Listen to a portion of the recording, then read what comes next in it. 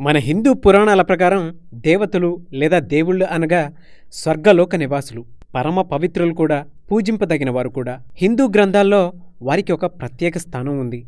వారి గురించి ఎన్నో రకాలైన కథలు పురాణ గాథలు ఇతిహాసాలు ప్రచారంలో ఉన్నాయి. ఇంతమంది దేవుళ్ళు ఉన్నా పరమేశ్వరుడు ఒక్కడే. ఆయనే సృష్టి అంతటికీ మూలాధారం. ధర్మాన్ని పరిరక్షించడానికి మరియు సకల మానవాళిని సరైన దారిలోకి మళ్ళించడానికి స్వర్గం నుంచి మానవ రూపంలో భూమిపైన జన్మించిన వారిని అవతార పురుషులు లేదా అవతార మూర్తులు అంటారు. అలా పుట్టుకొచ్చిన మన హిందూ దేవుళ్ళు చాలామందే ఉన్నారనే చెప్పాలి.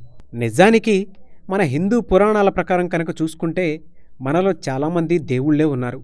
అందులో నాగుపాము ఒకటి. ఒకవేళ నాగుపాము కనుక ఇంటిలోకి వచ్చినట్లయితే దానంతట దానిని పోనిస్తారు. అది కరిచి చచ్చిపోయినా శాపం అనుకుంటారే గాని దాని జోలికి మాత్రం పోరు. ఎందుకంటే దైవాన్ని నమ్మేవారు పొరపాటున దానిని కనుక చంపేస్తే అది శాపంగా చుట్టుకుని ఆ జన్మ వరకు కష్టాలు పాలు చేస్తుందేమోనని అనుకుంటారు. అంతేకాదు పగ పట్టి మరి ఎక్కడ కాటు వేస్తుందేమోనని భయపడుతూ ఉంటారు.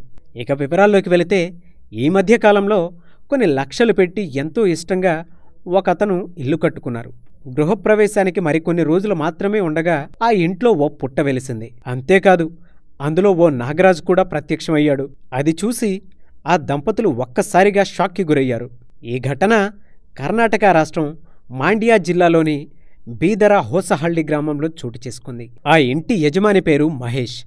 నిజానికి మహేష్ ఎనిమిది నెలల క్రితం ఇల్లు కట్టడం ప్రారంభించాడు. అప్పుడు చిన్న పుట్ట వెలిసింది. దీంతో అతడు ఆ పుట్టను తీయించేశాడు. అయితే అదే ప్రాంతంలో మరోసారి పుట్ట వెలిసింది. మొదట పుట్ట తీసేసినప్పుడు ఆర్థిక పరంగా ఎన్నో ఇబ్బందులు ఎదురవడమే కాకుండా అతడి పిల్లలకు ఆరోగ్య సమస్యలు కూడా వచ్చిపడ్డాయి.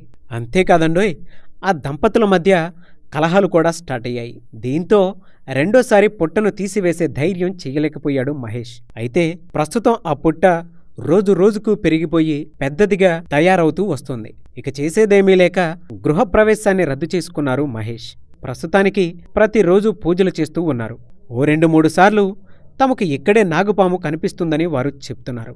ఇకపై వారు ఆ ఇంట్లో ఉండాలా లేదా అనే డైలమాలో ఉన్నారు. అయితే అక్కడి వారందరూ మీరు తెలియకుండా ఇల్లు కట్టుకున్నారు కానీ దైవ నిర్ణయం ప్రకారం దీనిని గుడిగా మార్చండంటూ సలహాలు ఇచ్చేవాళ్ళు లేకపోలేరు.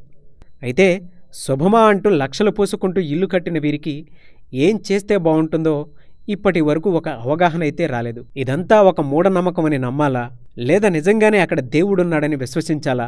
అనే అభిప్రాయాన్ని మీరు కామెంట్ రూపంలో తెలియచేయండి. ఈ వీడియో కనుక మీకు నచ్చినట్లయితే లైక్ చేయండి షేర్ చేయండి. ఇలాంటి మరిన్ని వీడియోస్ కోసం మా ఛానల్ని సబ్స్క్రైబ్ చేసుకోండి.